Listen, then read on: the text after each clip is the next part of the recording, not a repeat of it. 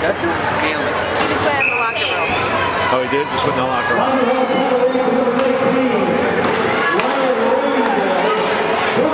room.